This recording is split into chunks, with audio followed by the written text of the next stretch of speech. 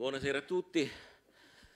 Ringrazio intanto Pino Arlacchi che è venuto in terra straniera perché gli spiegavo che lui oggi gioca fuori casa perché questa è stata la terra di Andreotti per antonomasia e il, libro, oltre che parlare di un grande magistrato che è Falcone, parla anche di Andreotti, non proprio con grande diciamo, stima, ma parla anche di Andreotti.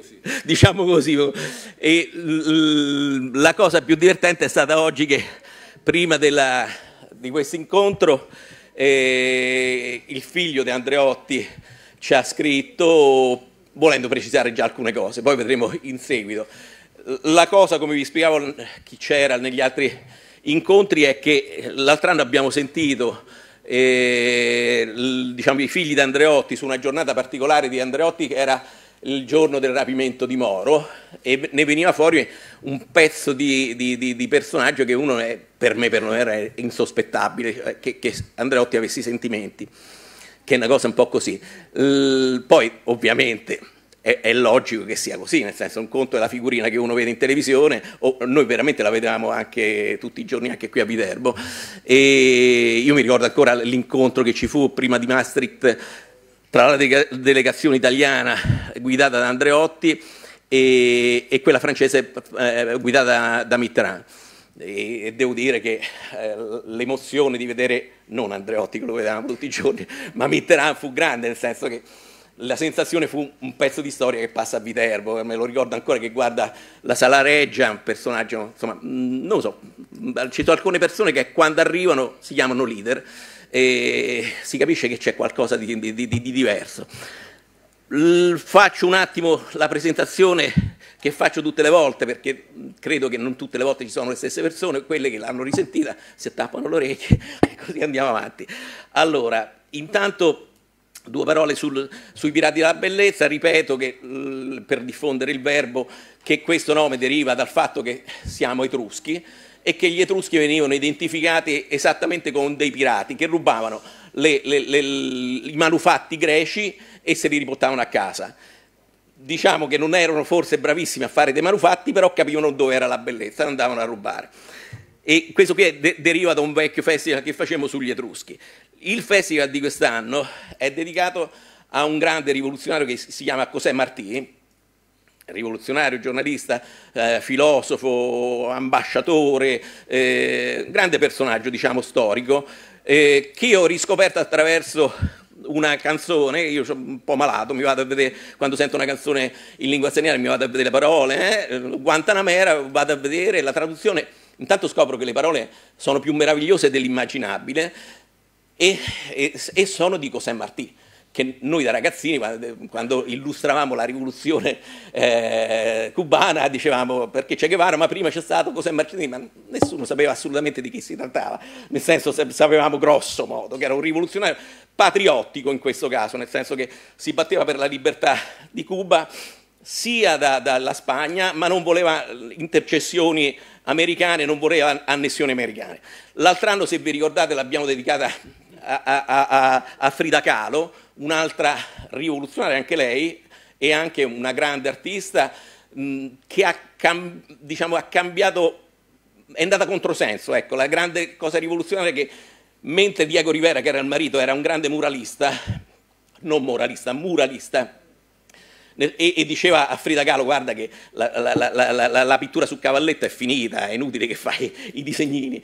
E invece Frida Kahlo va avanti e adesso si conosce più Frida Kahlo che il grande Diego Rivera, che è stato veramente un gigante.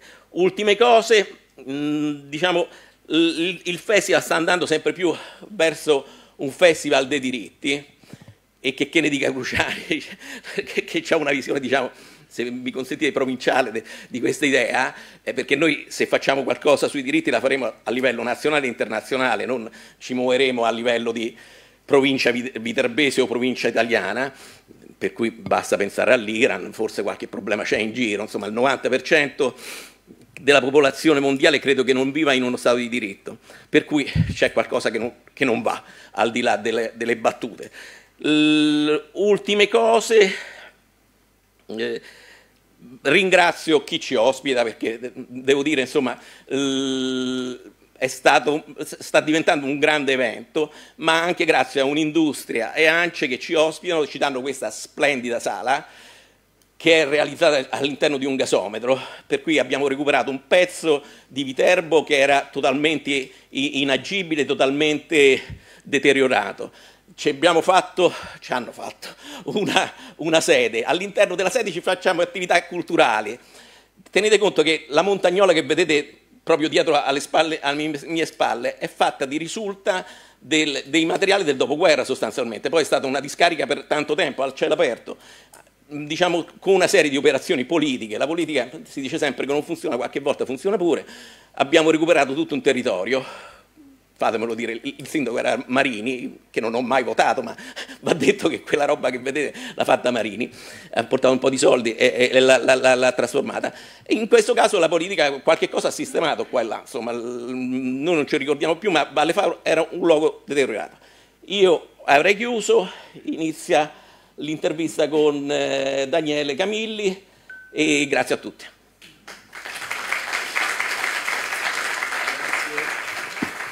Grazie a Carlo, grazie a voi che siete intervenuti, grazie a Pino Arlacchi che come ha detto Carlo gioca fuori casa, stasera saranno tante domande su Andreotti e poi ovviamente ci sarà anche eh, la parte eh, legata più prettamente al libro. Pino Arlacchi, Giovanni e io in prima linea con Falcone contro Andreotti. Cosa Nostra e La mafia di Stato, un libro che racconta la parabola del pool antimafia guidato da Giovanni Falcone, all'interno del quale poi hanno ruotato i più importanti magistrati della storia di questo paese, che hanno fatto la storia del paese, che hanno sconfitto la mafia corleonese e all'interno di questo percorso Pino Arlacchi è stato uno dei protagonisti, giovane protagonista all'inizio, ha seguito tutto quanto questo percorso e gli sviluppi successivi. Poi passeremo al, um, all'intervista, comunque due cose, Pino Arlacchi è stato vice segretario dell'ONU, per conto dell'ONU ha eh, diretto la lotta alla criminalità organizzata, è stato il fondatore di fatto della DIA, e Direzione Investigativa Antimafia, presiede l'Associazione Mondiale per lo Studio della Criminalità Organizzata, docente universitario, sociologo, parlamentare nelle legislazioni eh, precedenti, insomma uno dei protagonisti della storia più recente e racconta il suo ruolo all'interno di questo libro. Prima di passare alla domanda abbiamo anche delle informazioni diciamo, tecniche e, um, il festival I Pirati della Bellezza è reso possibile grazie ad aziende, associazioni di categoria, fondazioni, numerosi privati che hanno il coraggio di costruire cultura e sostenerla. Sono molte, non, si, non le nominiamo tutte quante ora, poi fra l'altro passano anche nello schermo alle nostre spalle. Eh, altre informazioni prima di iniziare, eh, all'ingresso trovate il libro di Pino Arlacchi, al fine, alla fine della presentazione avrete modo anche di eh, farvi fare il firmacopie e scambiare due battute. Ecco, se volete scambiare due battute con Pino Arlacchi durante il firmacopie, gli autori sono stati tutti disponibili, Pino Arlacchi l'abbiamo conosciuto poco fa, persona disponibilissima, quindi non ci sarà problema. C'è anche il libro sospeso, siamo l'unico festival che regala libri dall'anno scorso, siamo passati da 40 a 50 libri, e i 50 libri vanno ai primi 50 arrivati, sono ormai 4-5 appuntamenti che abbiamo gente fuori, perdonateci se non possiamo fare entrare tutti, però è anche un problema di sicurezza, questa sala ha una capienza e oltre questa capienza non possiamo andare, proprio per una questione di sicurezza, anche per garantire alle persone la fruibilità dell'incontro incontro la massima possibile. Il libro sospeso, queste 50 copie sono state offerte questa volta da Aquilani Pronto Pulse e, mh, ricordo anche al nostro ospite, al pubblico, che questo incontro è trasmesso in diretta sulla pagina Facebook di Tuscia Web, sul quotidiano su, eh, Tuscia Web e andrà anche in onda su radioradicale.it. Mi associo anche ai ringraziamenti di Carlo, alle autorità presenti e un ringraziamento particolare va ad Ettore Bacchelli, eh, l'auditorium dove noi eh, stiamo facendo questi incontri è l'auditorium realizzato da Ettore Bacchelli, alza la mano per far vedere chi sei. E veramente un bel lavoro e veramente insomma una gran cosa che poi questi incontri stanno evidenziando ancora di più, poi l'incontro con Cruciani ha trasformato tutto questo in una vera e propria agora. Prima domanda, Andreotti, partendo da un passaggio del suo libro. Allora, diciamo proprio nell'introduzione, leggo il brano, con la debacle di Capaci nel 1992, l'anno dell'attentato che porta alla morte di Falcone e Borsellino, della scorta della moglie di Falcone e la magistrata Morvillo, e con la condanna di fatto in Cassazione nel 2004 di Giulio Andreotti per associazione a delinquere di, di tipo mafioso. Ecco, le domande in questo caso sono due. La prima, se ci eh, ricorda un po' come è andata a finire dal punto di vista della giustizia questa vicenda qua, perché noi eh, l'impressione, mettiamola così, che abbiamo è che Andreotti sia stato assolto in via definitiva. E che cosa significa poi condanna di fatto? Ecco, di solito il diritto è certo. C'è una nota sì. a questo. Beh, non è difficile rispondere, c'è una nota nel libro di tipo giuridico che chiarisce eh, perfettamente questo punto. Giulio Andreotti è stato assolto in Cassazione dall'accusa di associazione a delinquere di tipo mafioso. Ma la sentenza dice è una soluzione ehm, che è come se fosse una condanna, perché la sentenza dice che fino al 1980 Andreotti era responsabile di questo reato, dopo, e quindi quello che hanno dichiarato i collaboratori di giustizia era vero, dopo però non ci so, eh, ma il reato è prescritto, dopo il 1980 non ci sono prove sufficienti per condannarlo, da qui la soluzione. Questa è la sentenza, e cioè, lo dicono, tu fino al 1980 sei stato parte integrante di Cosa Nostra e quindi sei responsabile di associazione di delinquenti mafioso, ma il reato è prescritto. Da questa data in poi non ti possiamo condannare perché non ci sono prove sufficienti per condannarti, quindi sei assolto. Ora ditemi voi se questa è una sentenza o è una condanna di fatto.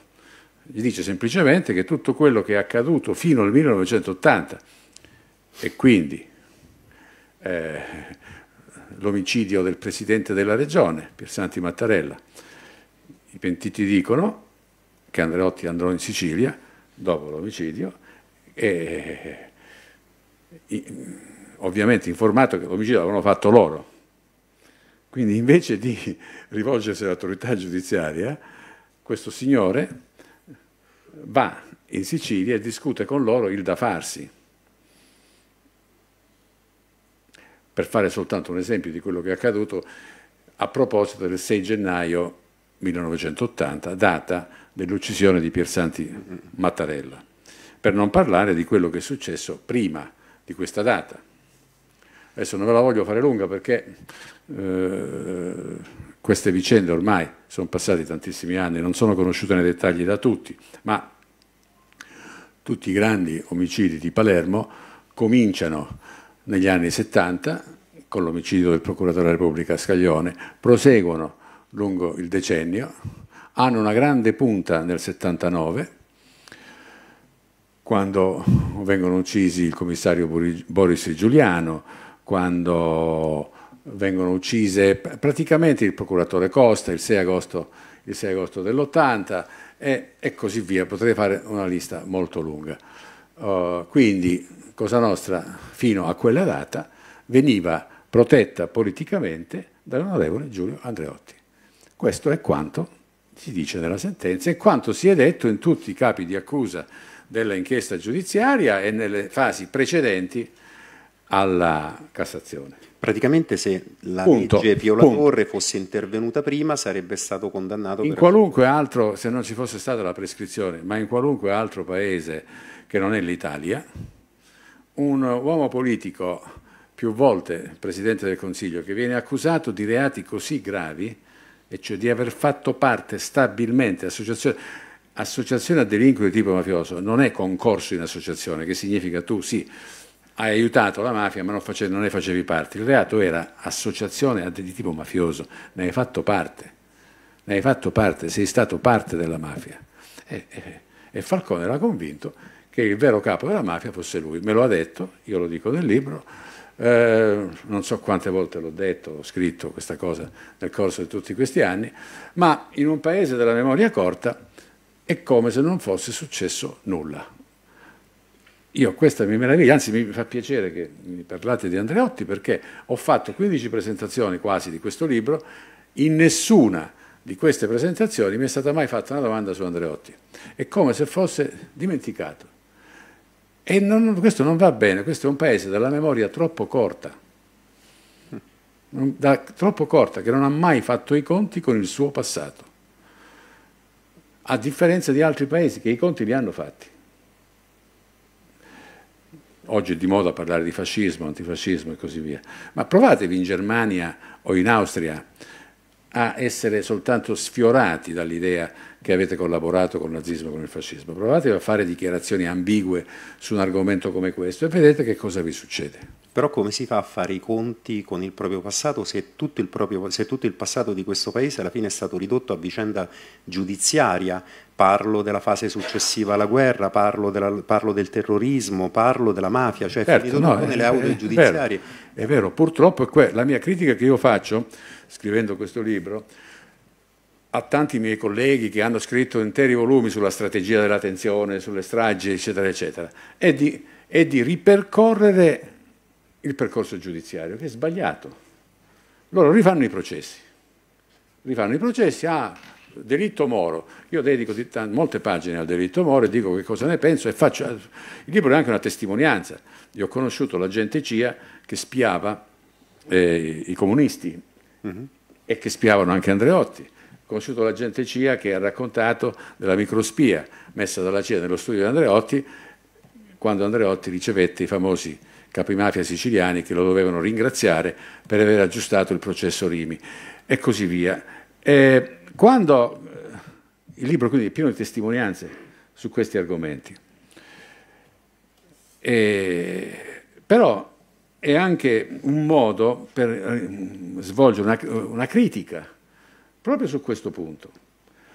Il contributo degli studiosi, il contributo degli storici, il contributo degli intellettuali, che su queste cose dovrebbero ah, dire delle cose differenti da quelle delle sentenze, si limita semplicemente, sono state fatte tre commissioni parlamentari di inchiesta su Moro e non so quante sui fatti di mafia, non fanno altro che ripercorrere le sentenze, ripetono quello che dicono le sentenze e criticano in certi punti, approfondiscono in altri e così via svolgendo un ruolo assolutamente inutile. Infatti, perché ci sono già le sentenze. Un altro limite, ed è invece un aspetto che ho molto apprezzato del libro, un altro limite è quello di separare diciamo, le vicende legate alla, alla, al terrorismo dalle vicende legate invece alla mafia, quando invece fanno parte di un'unica epoca storica sostanzialmente, se uno la guarda bene. Invece nel suo libro c'è proprio il tentativo di mettere insieme le due cose, cioè la vicenda vicenda di Aldo Moro che si va ad intrecciare poi con la vicenda della mafia.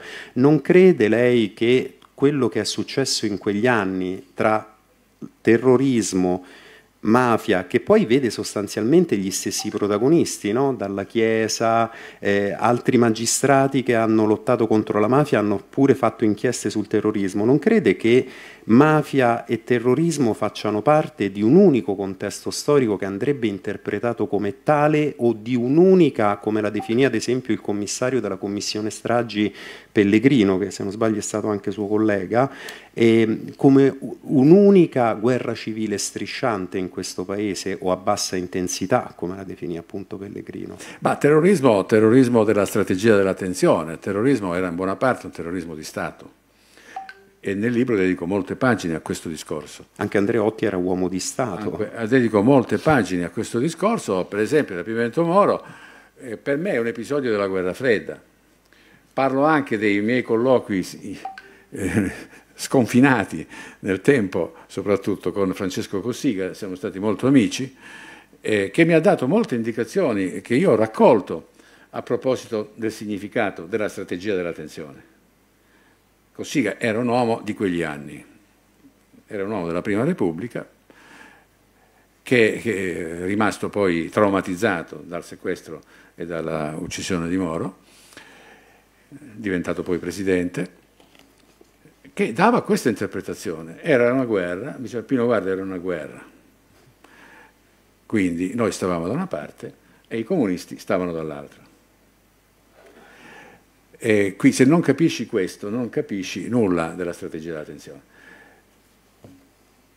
Era una guerra e io gli ho detto sì, ma in una guerra eh, non dichiarata, una guerra civile e politica, in cui sono state fatte delle stragi contro cittadini innocenti. Questa guerra comportava mettere bombe sui treni o nelle banche o altrove e uccidere eh, così tanti. Lui mi ha detto, guarda Pino, c'era chi, dal nato mio, è andato al di là di quello che si poteva e si doveva fare.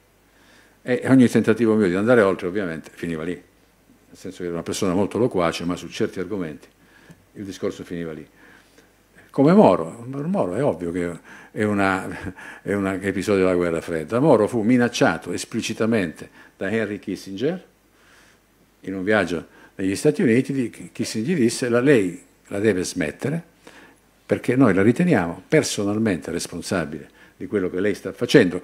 Moro stava facendo l'apertura ai comunisti che avrebbe portato al compromesso ingresso dei comunisti nel governo. Lei la deve smettere perché ne, questa cosa gliela potremmo fare pagare.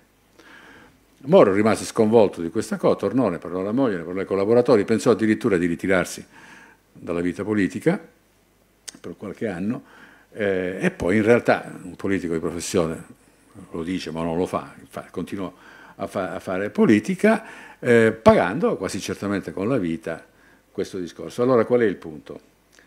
Invece di partire da qui e ragionare su che cosa è stata la guerra fredda, ha nei suoi risvolti soprattutto internazionali, che io nel libro affronto, per gli americani, il governo americano del tempo, fare fuori un politico occidentale, italiano, eh, perché non era organico alla guerra fredda eh, e perché stava rompendo la regola fondamentale, e cioè l'anticomunismo, eh, io faccio un elenco nel libro, ne cito, ne hanno fatti 25 di cose simili al rapimento Moro. Non gli è riuscito l'uccisione di De Gaulle per un miracolo, ma era una cosa in tutto. Stanno, adesso stanno uscendo sempre più libri, studi, studi su questo argomento. La guerra fredda in Italia era un capitolo di quello che facevano in America Latina con l'operazione Condor, di quello che avevano fatto in Indonesia sterminando 600.000 comunisti, fu una strage che si avvicinò al genocidio e così via. E adesso vengono fuori. Allora, il rimprovero che io faccio è questo ai miei colleghi. Avete sprecato anni a guardare ogni carta giudiziaria senza essere capaci di aggiungere nulla a quello che si sapeva già, invece di ragionare sulle logiche, le dinamiche, le politiche e gli aspetti internazionali della guerra fredda. E a questo proposito faccio insomma, diverse Parlo di cose anche che ho vissuto io, no? Io ero un ragazzo, allora frequentavo l'ambasciata americana perché un amico era figlio dell'ambasciatore americano e un giorno lui mi disse guarda che se tu vai a raccontare questa cosa che ti ho appena detto, che era una, una cosa da niente, era che dalla Chiesa prima di morire aveva chiesto aiuto agli americani, al consolato americano. Io dico ma guardi, senta, ambasciatore, questa cosa c'era sull'Espresso la settimana scorsa, la sanno tutti non mi sta facendo, perché adesso ti faccio una grande rivelazione. C'era, ho detto, che cos'è l'Espresso? Dico, no, non è il caffè, è un giornale italiano.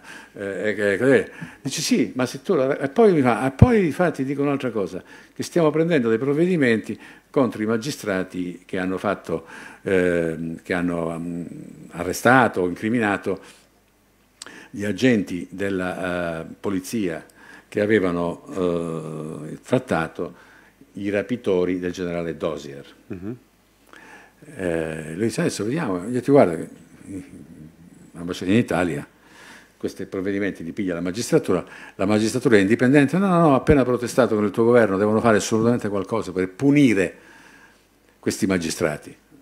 E lui, è, è, questa cosa per carità fa, se la dici fa, ti faccio scomparire ci sono i miei uomini qua fuori e ti faccio scomparire. Che non era di eh, no, io, io, gli ho risposto, ah benissimo, Moro style, stile Aldo. Gli ho detto, stile Moro mi fai scomparire?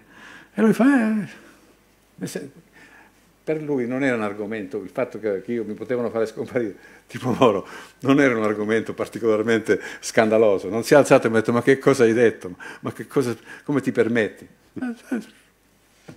Torniamo cioè, per su... dire, ecco, che cosa noi non abbiamo saputo, che cosa dovremmo sapere su quegli anni. Invece escono, escono due libri all'anno sulla guerra fredda, su, su l'ennesimo libro sul rapimento Moro, ne hanno tirate fuori di tutti i colori sul rapimento Moro. Ci sono almeno 30 libri.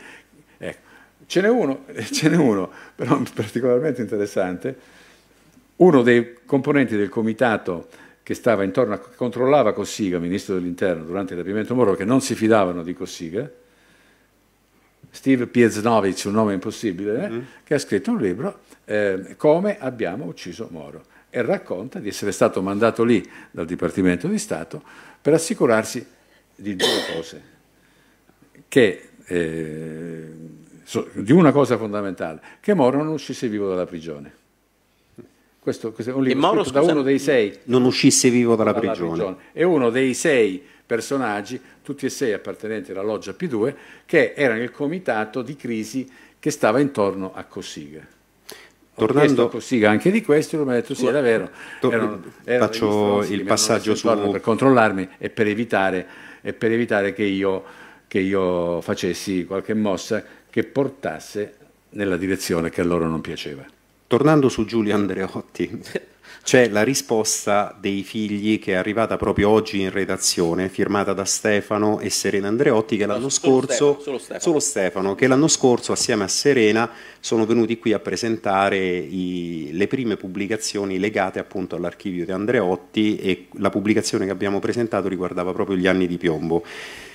Lei scrive Giulia Andreotti era il titolare di un potere illecito formidabile più esteso di quello mafioso, ma non nel senso che era nella testa di una specie, era la testa di una, di una spectre da romanzi thriller e serie televisive.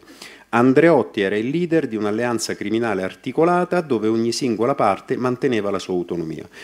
Le leggo la risposta e vi leggo la risposta di Stefano Andreotti. Egregio è un po' lunga, eh? abbiamo pazienza, è giusto anche leggerla.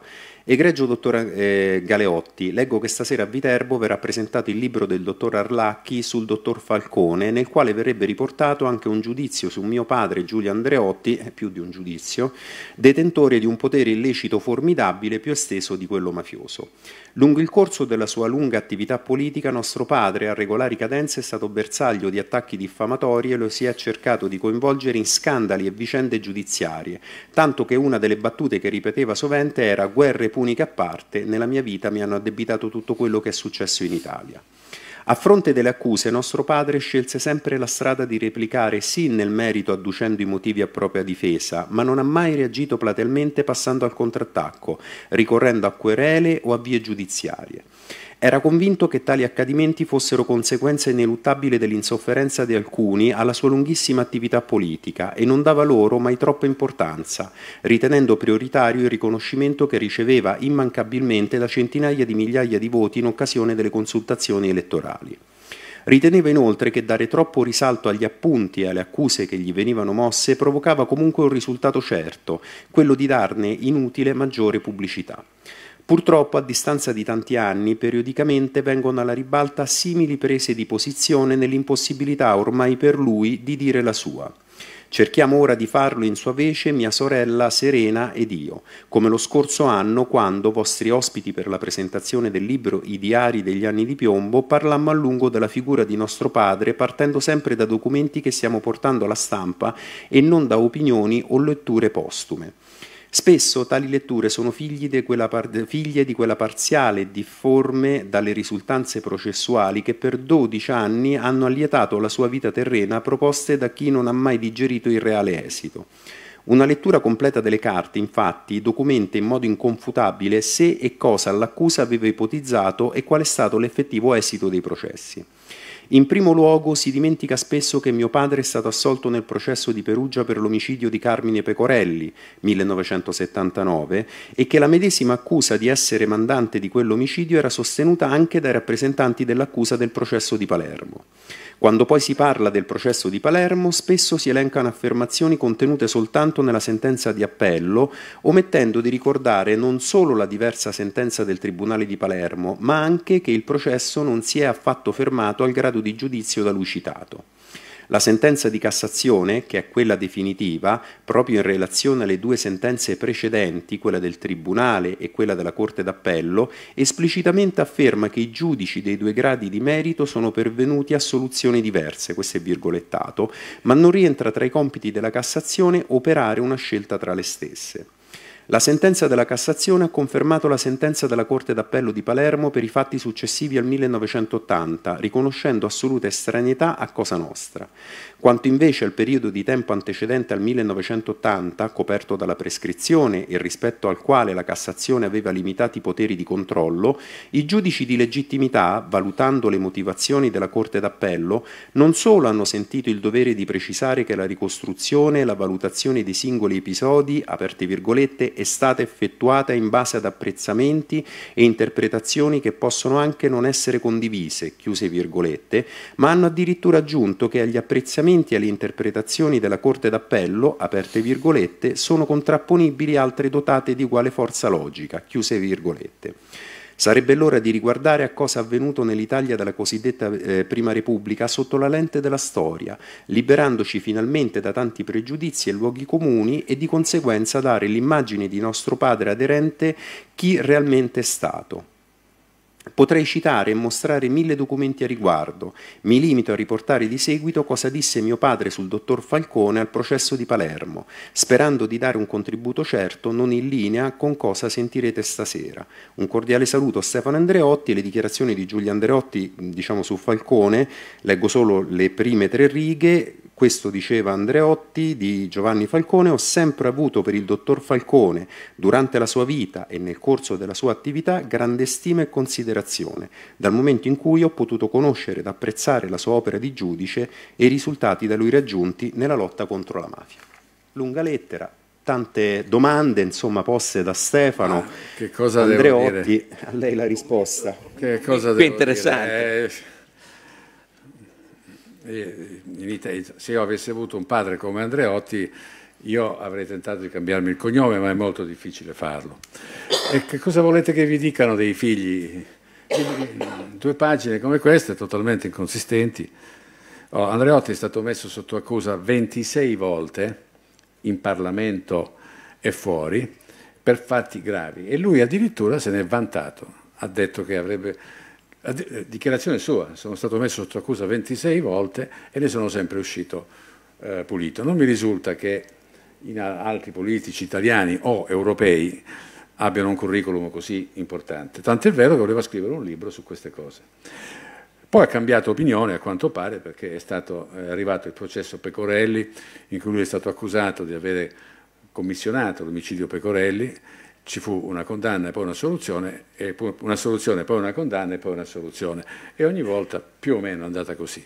Condanna, soluzione, condanna, soluzione, condanna, soluzione, condanna, soluzione, condanna, soluzione, condanna, soluzione. Quindi lasciamo perdere il discorso poi su Falcone, insomma, nel libro c'è l'episodio dell'attentato della Daura, quando Falcone sopravvive all'esplosivo messo nella sua villa al mare. E io vado a Palermo a parlargli e la prima cosa che gli ho chiesto è stato chi è stato?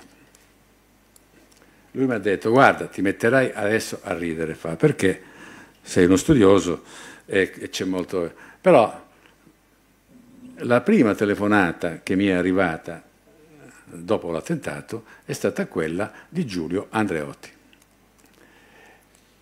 E questa cosa mi ha, e questa cosa, era preoccupato. E questa cosa mi ha fatto venire un brivido giù per la schiena, alludendo al fatto che ai funerali degli uccisi in prima fila c'erano gli uccisori, i capi mafia che li avevano ammazzati. È una vecchia storia della mafia eh, a, a, cui lui ha fatto riferimento. questa cosa l'ho scritta, l'ho detta, l'ha detta anche ad altri colleghi magistrati che hanno deposto non so quanti processi, riferendo la stessa cosa che io, che io vi ho detto. Questo per dirvi che cosa Falcone pensava di Andreotti. Quindi la telefonata che fa Andreotti Davvero. a Falcone è paragonabile ai capi mafia che si siedono in prima fila durante i funerali il, delle se- loro il senso era, indubbia- era indubbiamente questo. Oh. Sì, l'ha detta, questi giudici suoi colleghi hanno deposto su questo argomento, hanno detto la stessa cosa che ho detto io, è stata scritta e riscritta, io non so quante volte ho scritta io, Marcel Padovani e tantissime, ma non ha importanza, insomma, non è, sono venuto qui a fare adesso la, la- a rip- a ripercorrere tutte, tutte queste storie. Ehm, Sì, questo è, insomma, eh, la vera vicenda eh, Falcone non, non- non può essere compresa senza due personaggi, tutta la storia di Giovanni Falcone. Da un lato Tommaso Buscetta e dall'altro Giulio Andreotti. Da quando nel 1984 lui mi raccontò, e io nel libro ri- ri- eh, rivelo, perché non ho mai parlato di queste cose fino adesso, rivelo nei dettagli la sua analisi su tutti i grandi fatti di Palermo, compreso l'omicidio dalla Chiesa, avvenuto secondo Giovanni Falcone, fu un omicidio in realtà politico, non- la mafia non c'entrava niente nell'omicidio della Chiesa, vero- il vero problema erano le carte che deteneva dalla Chiesa, che erano le stesse che deteneva Pecorelli, e che parlavano, queste carte, del coinvolgimento, del- erano carte eh, Moro, che venivano dai memoriali Moro, che parlavano del- dei famosi assegni del Presidente che avrebbero messo in grandissimo imbarazzo Giulio Andreotti. Documenti che dovevano andare poi alla moglie, no? alla Setti Carraro, se non sbaglio. Cioè, ehm, No, alla no, erano, stavano nella cassaforte della prefettura di Palermo e nel tempo che morisse dalla Chiesa scomparvero dalla cassaforte stessa. Comunque il centro del libro non è Andreotti in quanto tale, il centro del libro è un sistema di potere illegale e violento che in buona parte governava il paese e che è merito di Falcone, di Borsellino, di Chinnici ancora prima di loro e di tanti altri, è merito avere distrutto. Per questo li chiamo patrioti. Io li chiamo patrioti perché questo sistema di potere e di governo nascosto del paese ha governato l'Italia fino in pratica a che loro non hanno posto fine a questo fatto. Quindi secondo me, per me sono la terza ondata della unificazione del paese dopo il risorgimento, dopo la resistenza, è quella realizzata da Falcone e Borsellino. Per cui se l'Italia oggi non può essere paragonata all'Italia 30 anni fa, l'Italia oggi è un paese da- sotto questo profilo assolutamente normale, civile, europeo. Abbiamo adesso forze di polizia e servizi di sicurezza assolutamente normali di eh, livello europeo, affidabili e al servizio dei cittadini, lo dobbiamo a loro. Hanno compiuto, hanno espulso l'illegalità e la violenza dal centro del potere italiano. Una curiosità e poi un- se ci spieghi eh, meglio una cosa. Il Cossiga di, di- di- Andreotti che cosa ti ha detto? E Perché beh, lo- beh, Andreotti, eh, l'argomento Moro era quasi tabù lui lo affrontava sempre di striscio in tutte le nostre conversazioni. Lo, soffriva molto Io gli dicevo che Moro era l'elefante seduto nella stanza in cui parlavamo e, e tutti qua- facevamo finta di non vederlo.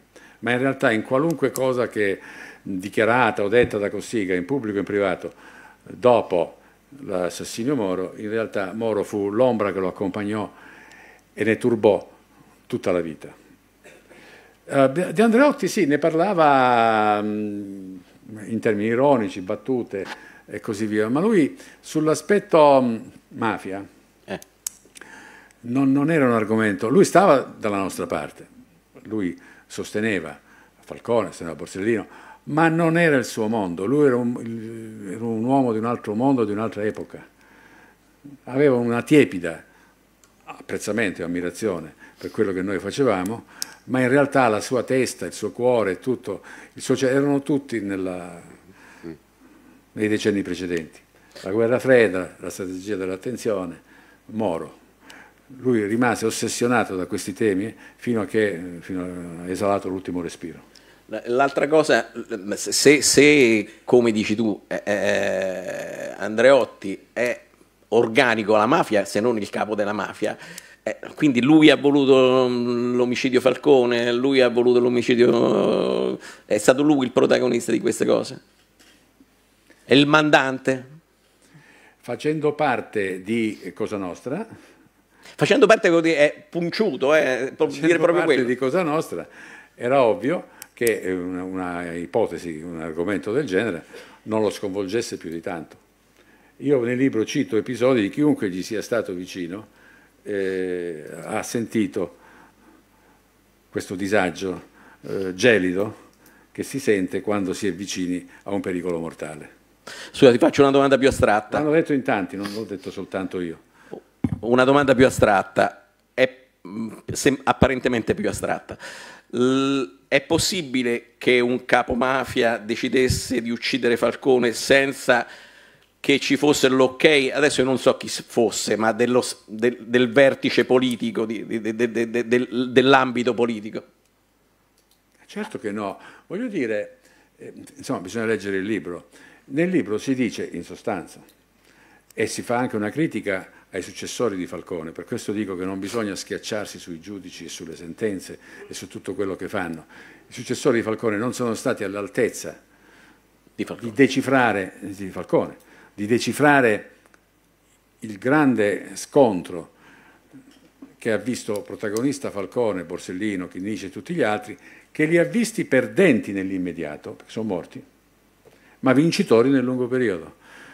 Il libro è costruito proprio su questo. Il blocco di potere, Andreotti, la Cassazione, Carnevale, i servizi di sicurezza, Sismi e Sisde, Contrada, che è stato poi l'unico che è stato condannato definitivamente per associazione mafiosa, il Sismi, servizio eh, esterno, sui cui aerei Falcone volava. Ecco, e tutti poi gli altri apparati dello Stato, controllati o influenzati o in qualche modo che facevano capo anche ad Andreotti, ma soprattutto a lui, ma non solo a lui, e così Questo era il discorso di tutto il libro. Io rimprovero i successori di Falcone di essersi, di essersi eh, incamminati su una strada assolutamente sbagliata, che è quella della trattativa mafia-Stato, che io ho criticato fin dall'inizio, era una strada totalmente sbagliata, invece di concentrarsi sulla componente non mafiosa della strage. Invece di indagare, di cominciare dall'aereo di Falcone, gestito da una compagnia del Sismi, invece di concentrarsi su tutte le indagini che Falcone faceva anche così informalmente quando era al Ministero di Grazia e Giustizia, che erano tutte rivolte verso l'aspetto di eh, connessione tra i servizi di sicurezza, il SISMI in particolare, la famosa base di Trapani del SISMI, su cui Falcone indagava da sempre, e, e gli altri eh, legami, Gladio e la connessione, la connessione eh, Gladio-mafia e tutto il resto, invece di andare per la strada maestra, sono andare a vedere, invece di rivoltare il Sismi e il Sisde dalla A alla Z, subito dopo gli attentati, si sono messi a inseguire il colonnello Mori e le sue presunte trattative con, con, con, con Ciancimino. Pre, due, due, due, due, Mori millantava di rappresentare lo Stato e Ciancimino millantava di rappresentare Cosa Nostra. Finita nel nulla, in Cassazione, stracciata e tutto. Dieci anni. Ma... Invece di andare per l'altra strada, oh, e quindi io nel libro cito una dichiarazione, non so che cos'è, dei magistrati di Caltanissetta che dicono è venuto il momento, adè 30 anni dopo, di chiedere l'elenco di tutti gli agenti sismi e sismi operanti in Sicilia 30 anni fa. Cioè, ci hanno impiegato 30 anni i successori di Falcone, alcuni dei quali sono molto quotati, per, per, fare, per, per dire che bisognava fare quello che bisognava fare allora Adesso la possibilità di arrivare a una verità giudiziaria non c'è più, come per le stragi e come per tutto il resto, per un fatto molto semplice. O sono morti i responsabili, o sono morti, o sono in pensione, o sono troppo vecchi per, essere, per, per ricordare o per dire, poter dire qualcosa di significativo. E tra un paio di anni saranno morti tutti, visto che sono passati 30 anni da quei fatti. Va bene? Questo, insomma, vi ho raccontato un po' il libro. Scusa. Questo io dico, e la mia critica di fondo è questa, anche se sto criticando amici cari, persone con cui eh, ho passato una vita e così, ma non posso non dirlo. L'operato di Caselli e l'operato di Ingroia, quindi... Sì, ma certo, ma certo, ovvio. Quindi è Ovvio. totalmente negativo. Però l'altro giorno un Caselli mi ha detto, ah Pino, io ho 82 anni, adesso non puoi fare questa cosa. Io guarda, Giancarlo, io ho sempre apprezzato, siamo amici da una vita, però i fatti sono questi. Ti sei messo a, a inseguire le, le, farfalle? Noi della trattativa del, del colonnello Mori e dell'altro con Chinacimino, io ero alla DIA allora, ai vertici della DIA, eccetera. ridevamo. Cioè l'inchiesta sulla ridevamo. Questi completamente... sono ancora rimasti ai confidenti. Era una cosa dei confidenti. Cioè. Il confidente. Mentre noi camminavamo con la Ferrari, che erano i pentiti, i pentiti, le indagini finanziarie, i soldi, il riciclaggio e così via, questi ancora hanno risuscitato questo mafioso in disarmo che era Giancimino e, e, e hanno, fatto, hanno impiantato questa cosiddetta trattativa, che non è mai stata una trattativa. La trattativa è una cosa seria. Una trattativa significa che ci sono due parti che trattano, palesi e riconosciute, queste parti hanno qualcosa da dare ciascuna all'altra, da patteggiare, da trattare e così via. In questo caso che cosa trattavano? Appena sono andati a chiedere al Ministero di Grazia e Giustizia di dare un passaporto eh, a, a, Ciancimino, la risposta eh, fu che Ciancimino fu arrestato. Non c'era nessun tipo di... di no, e poi non c'era la cosa più importante di tutte, non c'era la copertura politica. C'è stata anche una commissione parlamentare su questo. Dov'era la copertura politica nel 1992? Io nel libro ricostruisco che cos'era l'Italia in quegli anni. Il mondo politico era, spacca- era, era diviso in due parti. Una parte maggioritaria era sotto accusa, un giorno sì e uno no, venivano messi sotto accusa per associazione a delinquere, corruzione e così via. Ci fu una volta in, in, tre mesi tre ex presidenti del Consiglio, quattro ministri, erano tutti sulla difensiva e dovevano difendersi da accusa della magistratura, perché c'era mani pulite in pieno svolgimento. E poi c'era una minoranza, qualcuno, tipo Scotti e Martelli, che hanno cercato di salvarsi e, devo dire, hanno fatto anche una scelta assolutamente assolutamente eh, ammirevole, invece di mettersi dalla nostra parte. E sono quelli che hanno consentito a Falcone di andare a Roma, al Palazzo di Giustizia, sottraendosi da un gioco al massacro cui, che, che c'era Palermo contro di lui, Scotti con la creazione della DIA e con l'incarico che mi dette, che io eseguì poi, di creare una forza di polizia specializzata, interforze, specializzata nelle indagini contro la criminalità organizzata, e, e, tutta una serie di altri provvedimenti contro il riciclaggio. Falcone a Roma dette più fastidio durante il suo periodo a Roma che durante tutto il suo periodo a Palermo, eccetto il maxi processo ovviamente. In quegli anni chi erano i, poli i politici votati al massacro? Li avremmo massacrati se avessimo scoperto la più piccola cedimento. Mancino, io sono stato consulente di Mancino perché dopo Scotti arrivò Mancino.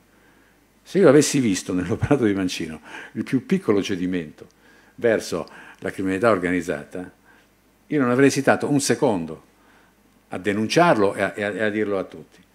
Allora questa parte del governo ci seguiva, ci seguiva indipendentemente da tutto e devo dire che hanno concluso la loro carriera politica in maniera assolutamente onorevole.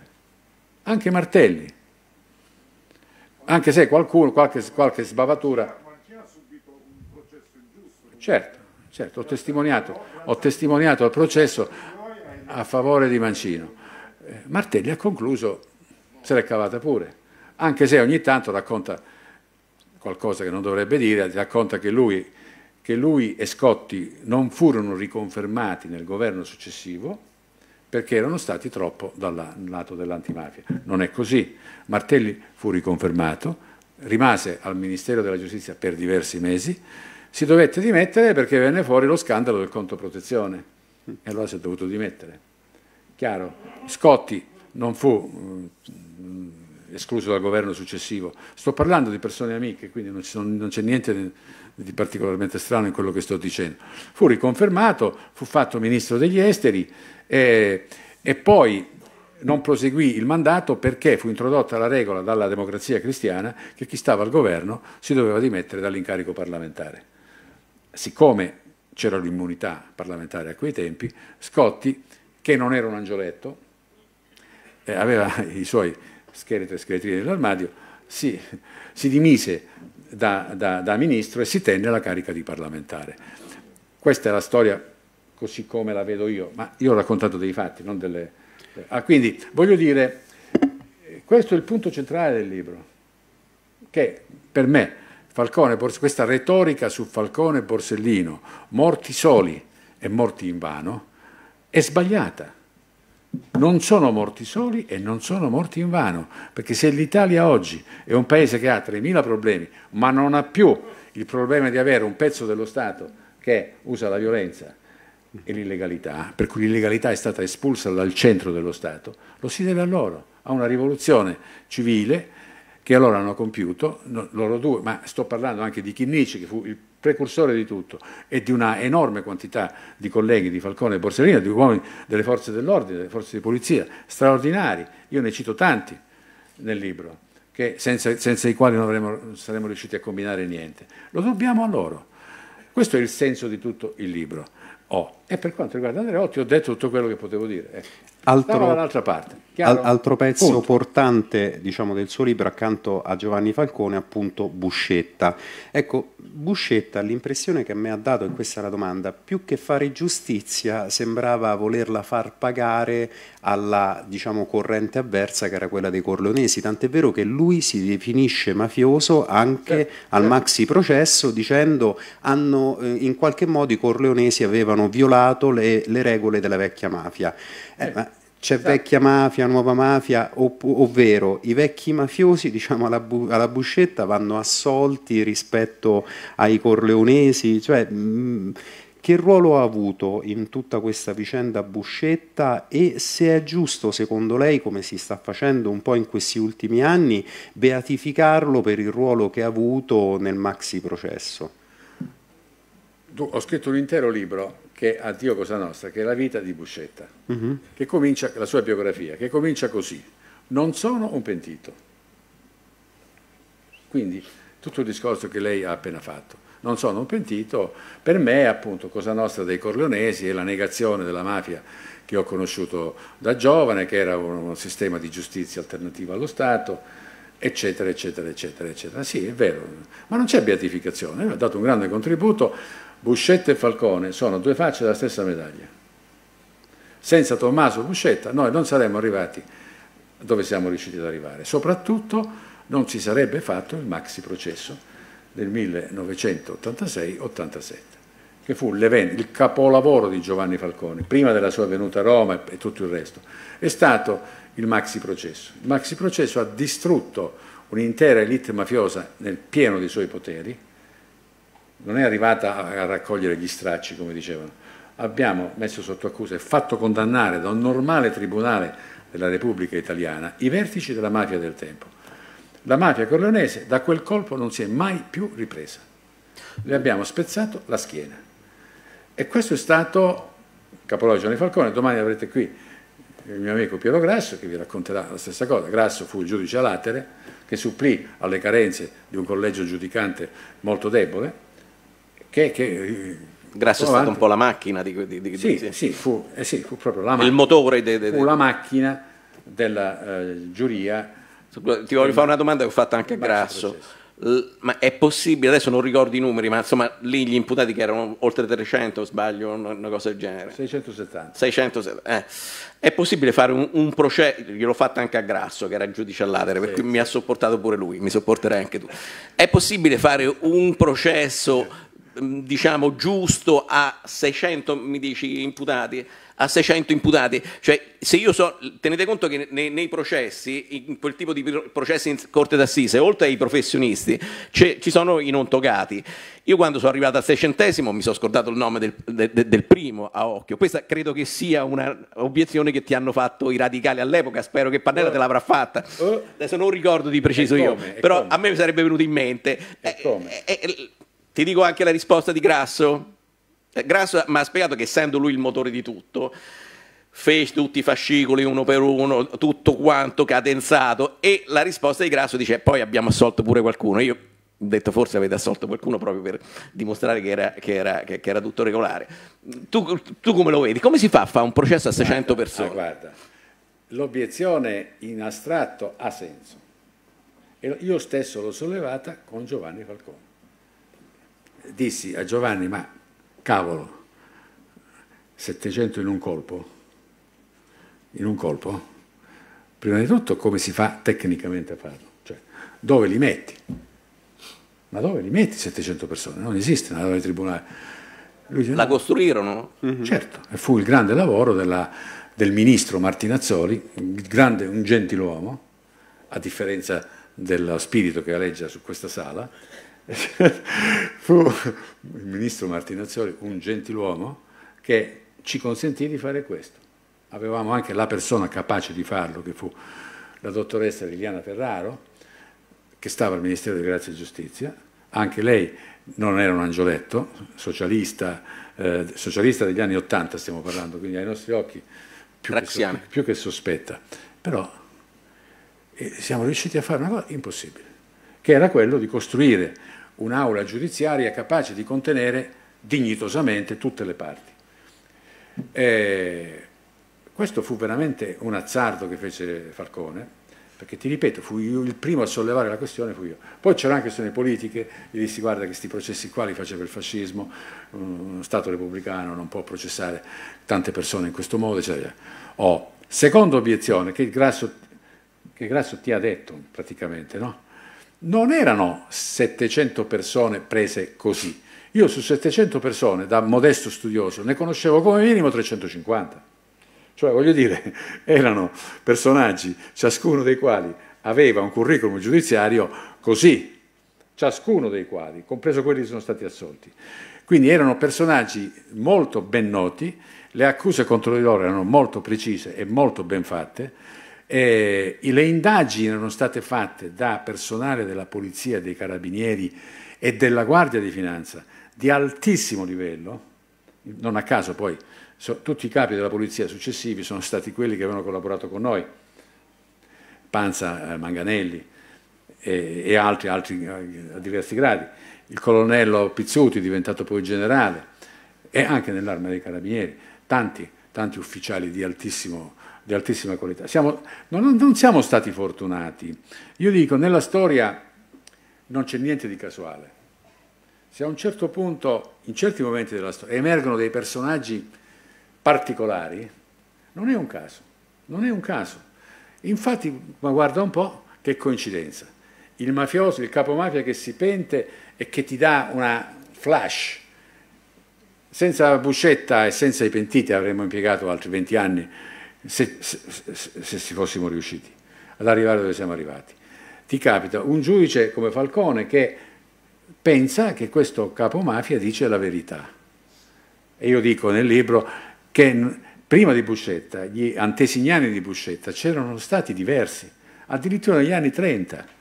Un medico di Castelvetrano andò a un ufficio di polizia e disse io faccio parte di un'associazione segreta che è la mafia, vi racconto com'è fatta e vi dico com'è. E nominò tutti i capi, protettori, cos'è. e non successe niente. Nel 74, ben prima del maxi processo, un mafioso di Palermo, Leonardo Vitale, fece la stessa cosa. Andò in un ufficio di polizia di Palermo e raccontò come era fatta Cosa Nostra di Palermo. Il giudice, questa è la differenza tra Falcone e gli altri, il giudice che lo ascoltò, lo ascoltò e lo fece ricoverare in un manicomio criminale mm-hmm. uscì dal manicomio criminale dieci anni dopo e fu ucciso da Cosa Nostra a dimostrazione che aveva detto la verità.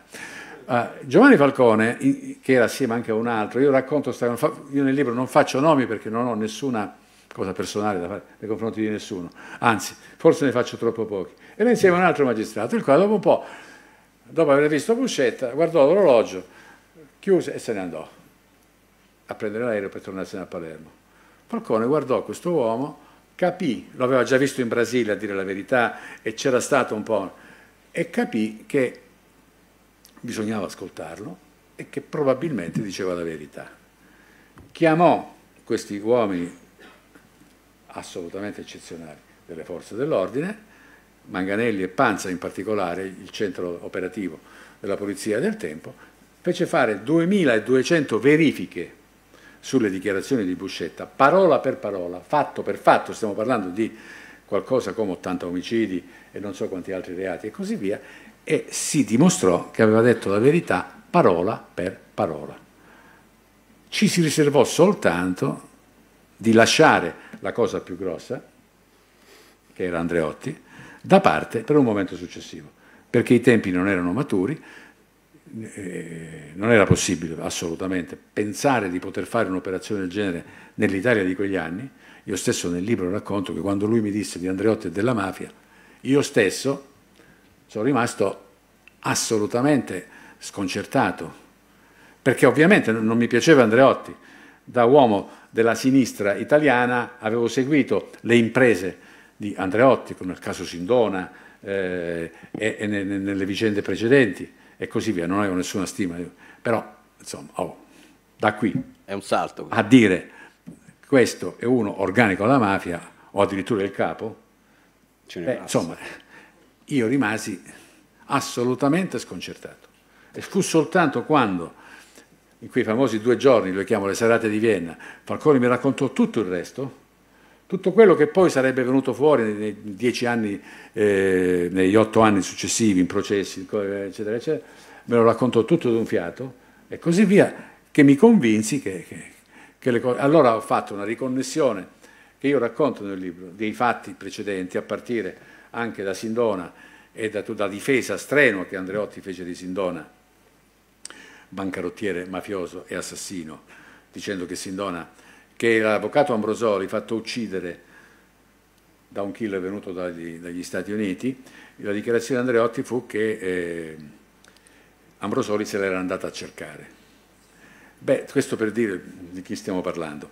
Oh, ma tutto questo, vi ripeto, è, non deve essere ridotto a questo episodio, a quell'altro, o questo aveva ragione, questo aveva torto, quella sentenza era giusta, quella sentenza era sbagliata. Questo è un modo, ah, non si può più fare oggi. Guardiamo a questi fatti con il distacco necessario, ma anche avendo bene in mente la lezione che l'intero Paese ha avuto da questi fatti, che sono durati più di vent'anni e che secondo me hanno fatto progredire in fondo l'Italia. Per questo dico attenzione a chi vi racconta ogni volta la stessa storia. Falcone osteggiato al CSM, Falcone odiato dai colleghi, tutti fatti veri, senz'altro. Ma oggi che importanza ha mh, raccontare che, che, al CSM dell'86 eh, eh, a Falcone eh, fu preferito il giudice Meli, che, che, sono tutte vicende che oggi non hanno nessun senso. Noi ricordiamo questi uomini per quello che ci hanno dato. Non, dobbiamo, non, non meritano di essere ricordati tutti quelli che hanno cercato di, per invidia per, per, per, o per interesse di ostacolarli e che alla fine, che alla fine hanno perso. Hanno vinto perché li hanno ammazzati. Questo sì ma una vittoria di breve periodo. Nel lungo periodo hanno vinto loro. So, io volevo chiosare un attimo questa serata, poi farà un'ultima domanda Daniele, però mh, mm, vorrei far notare, sottolineare solo una cosa. Eh, quanto è differente la pappa che ci danno tutti i giorni dalla televisione da questa serata. Uno può essere d'accordo, non d'accordo con Pino Arlacchi, a me è capitato in questi ultimi tempi di aver intervistato Caselli, Ingroia, Grasso un paio di volte eh, e devo dire ogni volta chiaramente poi loro l'hanno vissuto, io la studio sui libri, la loro storia E il, fatto di sentirli, e, questa sera veramente è un'analisi che non, non è proprio mainstream, insomma, eh, eh, per cui è tanto più interessante. Questo anche per sottolineare quanto è importante essere ritornati a vederci, perché questo qui è stato il primo festival di Viterbo che ha ritornato fisicamente a, a vederci di, di, di, faccia, e quanto sia importante ascoltare una persona che non fa una dichiarazione di 30 secondi in televisione, di cui non si capisce niente, non si, sa, non si capisce quello che pensa e quello che non pensa. Stasera è uno spaccato di storia d'Italia vista da Pino Arlacchi, che ne è stato un protagonista,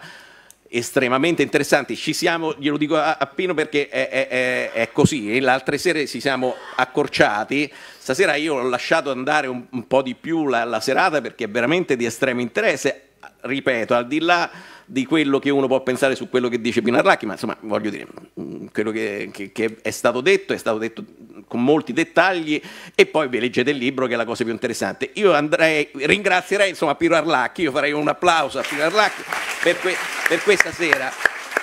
Dice, ci ha, ci ha regalato una grande serata, io ve l'avevo annunciato, lui non lo sa, ma nelle precedenti serate, alla fine di ogni serata dicevo proprio questa cosa, venite alla, alla sera, all'incontro con Pinarlacchi perché sarà estremamente interessante.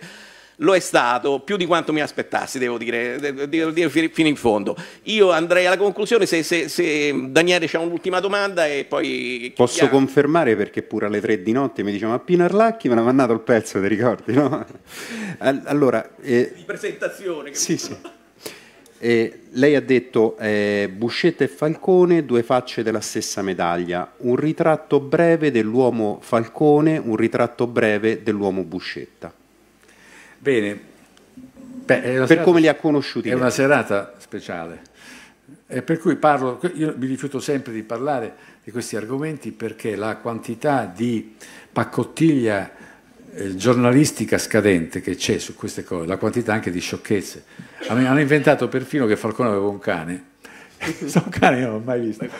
No, voglio dirti, Però è molto romantico. Voglio dirti, sono state dette tante di quelle fesserie da questo giornalismo scadente, o anche da sedicenti amici di Giovanni. Io non ho mai detto una parola per 30 anni su questo argomento perché eh, eh, sono spuntati tanti di quegli amici di Giovanni il giorno dopo Capaci che alla fine mi sono chiesto se, chi erano i nemici. Erano tu, tutti amici grandiosi di Giovanni. E si è diffusa purtroppo una memorialistica molto scadente in cui si, o si ripetono le stesse cose, sempre le stesse, oppure si raccontano cose arrampicandosi sugli specchi. Perché mi rifiuto sempre di parlare di cose troppo personali e così via. Nel libro ne parlo, ma entro certi limiti, il fatto, la grande passione per il mare che ci accomunava, il fatto che un giorno avremmo attraversato l'oceano insieme, cosa che io ho fatto da solo, senza di lui purtroppo, il suo sogno, eh, lui non sognava di diventare un uomo politico, come fanno tutti questi magistrati di oggi che che entrano nelle cronache e poi la prima cosa che fanno si candidano al Parlamento. Non gli interessava assolutamente la politica, come anche Borsellino, non gliene poteva interessare di meno. Quello che lui voleva fare, il suo sogno, era di arrivare all'ONU e di dirigere l'ufficio di Vienna, che eh, è l'ufficio che è il Ministero dell'Interno dell'ONU, cosa che io ho fatto dopo la sua morte. Era un uomo semplicissimo, no? semplice, quindi non aveva nessuno dei tratti eh, metafisici che gli vengono attribuiti, ma aveva una cosa che era veramente straordinaria, che non era il coraggio, eh? attenzione, coraggio erano in tanti ad averlo, non, lui non si distingueva per questo, grazie a Dio c'erano centinaia di magistrati, ufficiali di polizia, ma anche di comuni cittadini, di giornalisti e così via, che il coraggio ce n'avevano, quanto Falcone. No, era una eccellenza professionale assolutamente unica. Unica. È riuscito a fare l'impresa impossibile, far condannare dalla Corte di Cassazione i vertici della mafia siciliana e iniziare il processo che poi ha portato alla messa sotto accusa della politica che li proteggeva. Questa impresa era un'impresa impossibile, fatta con una padronanza degli strumenti giuridici semplicemente eccezionale, fuori del comune io lo posso paragonare soltanto a un, a un artista.